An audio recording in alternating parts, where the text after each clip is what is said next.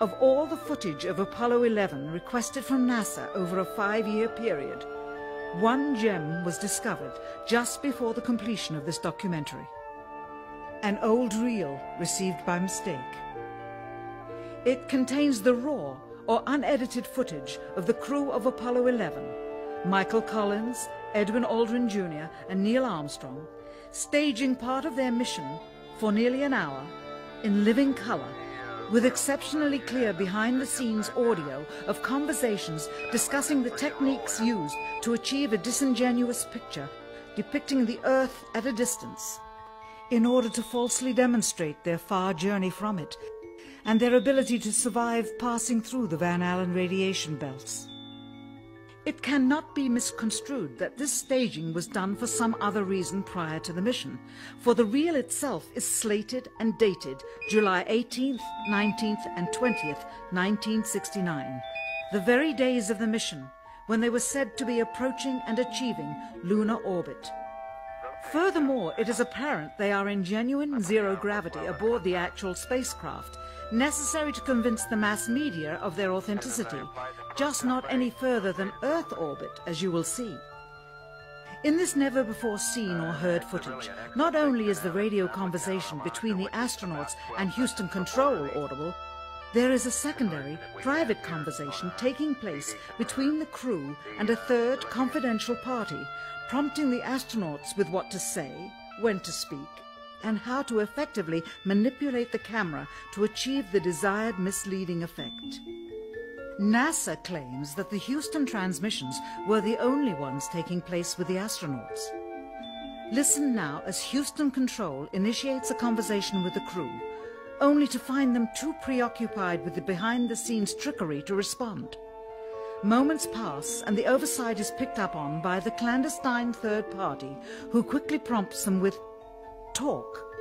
Immediately Neil Armstrong speaks.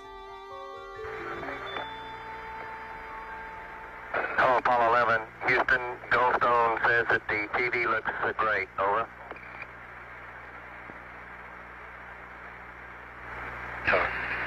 Okay, uh, Roger, we're uh.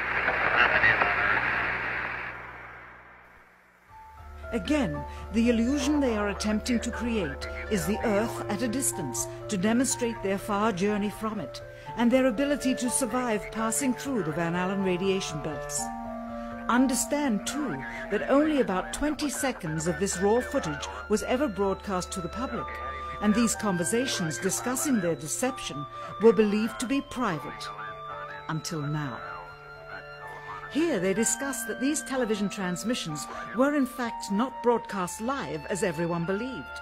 They were first screened and edited for playback later. Uh, Roger, Neil. We just wanted a narrative such that we can, when we get to playback, we can sort of correlate what we were seeing. Thank you very much.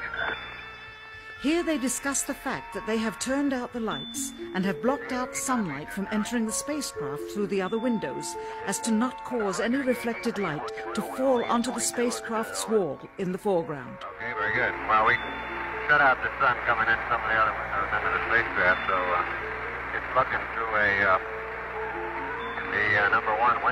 isn't any uh, reflected light. The reason this was done is so that the truth of the matter would not be revealed. It is this. Though the federal government would have you believe that this is a view of Earth from a distance out of the spacecraft's window as it nears the moon, it is not.